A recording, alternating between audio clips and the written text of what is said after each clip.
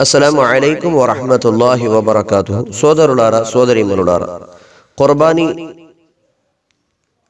జంతువుని జబా చేసేటప్పుడు మర్యాదలేమిటి ఒకటి మనం ఏ యొక్క కత్తినైతే ఉపయోగిస్తామో కొయ్యడానికి అది చాలా పదునుగా ఉండాలి.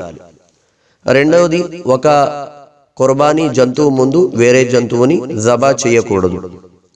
మూడవది కిబిలా వైపు తిప్పి కొయ్యడం ముస్తాహబ్ అంటే చేయడం మంచి పని నాలుగోది దువా చదవాలి బిస్మిల్లాహి అల్లాహు అక్బర్ ఇన్ని వజ్జహతు వజ్హియ లిల్లది ఫతర సమావాతి వల అర్ద హనీఫం వమా అన మినల్ ముష్రికీన్ ఇన్న స్వలాతి వనుసుకి వ మహ్యాయ వ మమాతి లిల్లాహి రబ్బిల్ ఆలమీన్ తర్వాత జబా అయిపోయిన తర్వాత ఇలా అనాలి అల్లాహుమ్మ తకబ్బల్ మిన్ని కమ తకబ్బల్ దా మిన్ హబీబిక మొహమ్మదిన్ వ ఇబ్రాహీం అలీహి మస్సలాతు వస్సలాం ఈ దువా చదవాలి ఆ తర్వాత జబా చేసిన తర్వాత మనం అది చనిపోయేంత వరకు ఎదురు చూడాలి కొద్దిమంది ఏం చేస్తారంటే తొందర తొందరగా చచ్చిపోవాలని మెల్డర్ చేయడం తొందర తొందరగా చచ్చిపోవాలని తల వేరు చేసడం చేస్తారు. అలా కాదు.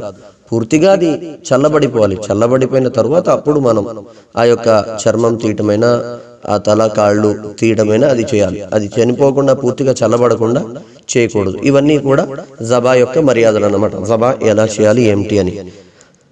మీకు ఎవరికైనా దువా రాకపోతే గనుక దీనికి సంబంధించి దువా నెమ్మదిగా నేర్చుకోండి. అంటే మొబైల్ ఫోన్ని ఆపుతూ బిస్మిల్లాహి అల్లాహు అక్బర్ ఇన్ని వజ్జహతు వజహియా లిల్లది فطر السماوات والأرض حنيفا وما أنا من المشركين إن الصلاة ونسكي ومحياي ومماتي لله رب العالمين اللهم تقبل مني كما تقبل داء من حبيبك محمد وخليلك ಇಬ್ರಾಹಿಂ ಅಲೈಹಿಮ್ ಅಸ್ಸಲಾತು ವಸ್ಸಲಾಂ ನಮ್ಮ ಮದಗೆ ರಾಸ್ಕೊಳ್ಳಿ ಅಸ್ಸಲಾಮು ಅಲೈಕುಂ ವರಹಮತುಲ್ಲಾಹಿ ವಬರಕಾತುಹು